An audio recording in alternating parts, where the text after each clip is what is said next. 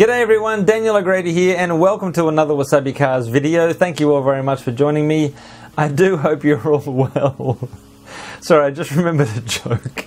Let's check out today's car. It is a 1973 Mach 1 Mustang and it is so, so very, very beautiful. Now this car came all the way from Ehime Prefecture. Now I doubt that means a great deal to you guys, but I saw it in Oita Prefecture and in Fukuoka Prefecture, but it came from another island, you know, so it made the trek here, which I'm super glad about. I actually did meet the owner uh, and I forget everything he said, so apologies for that. Now, I did send a bunch of photos to Rich over at Mustang Connection to give me some uh, details about the car, which he kindly did.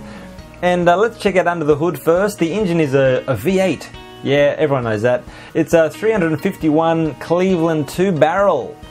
And you can see there that it has Ram Air. Now, apparently, the Ram Air was not on the 4V engines, only the 2V engines, So, uh, that's a nice option to have, I'm guessing. So uh, it looks a bit tatty under there, but you know, I'm not, you know, no disrespect to the car at all. It's had a life, and you know, it gets driven, and fair enough, the stickers get a bit tatty. That just happens, hey.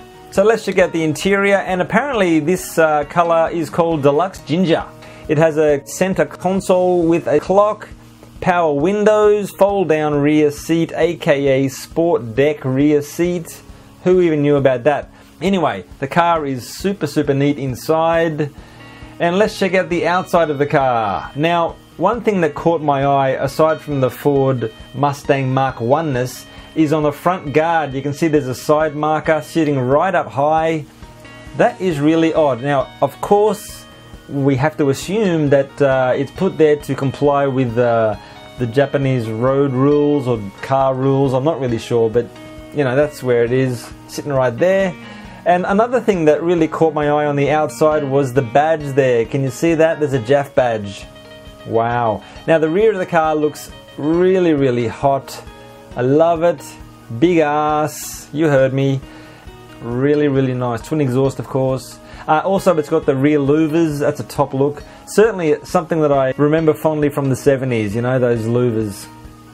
Okay, uh, okay, now today's question of the day what have you done 100 times? Because I am not kidding you, I have tried to make this video 100 times. I started it, made a mistake, and started it again more than 100 times. It's taken me over two hours to get to this point. Oh! I actually lost some hair. I talk about my head too much. I must be self conscious about it. Anyway, what have you tried and failed 100 times? Let me know in the comments below and take it easy. Goodbye. With a little bit of rust and a little bit of turn on wasabi cars and I never heard wasabi.